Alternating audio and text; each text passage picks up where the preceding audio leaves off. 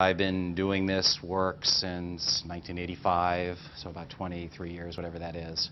Uh, have been doing economics and damage quantification work in a dispute type environment. That's how I describe it. I often describe myself as a forensic economist. So we live in this world that never existed. In other words, there's been some wrongful conduct.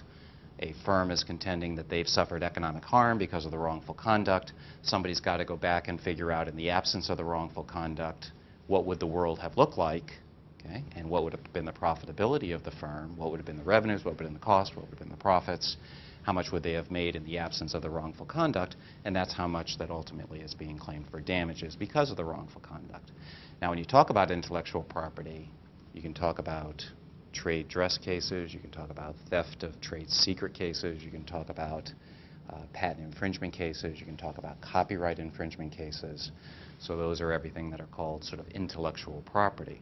And intellectual property is no different than physical property. So just like you might own a piece of land and somebody trespasses on your land and that's against the law, well, when somebody steps on your intellectual property or uses your intellectual property without permission, that's against the law and you're allowed to be compensated for that. Patent infringement cases, uh, perhaps more than other causes of action, are very much tied to case opinions.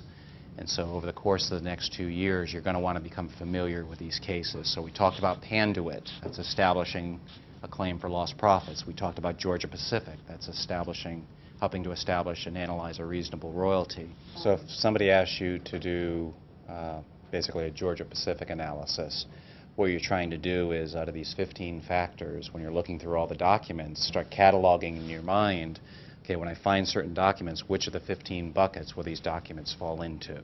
And what they always want to keep in mind is what kind of forces or pressures are present that will either drive the royalty rate up or down depending on the analysis we do for each of these factors.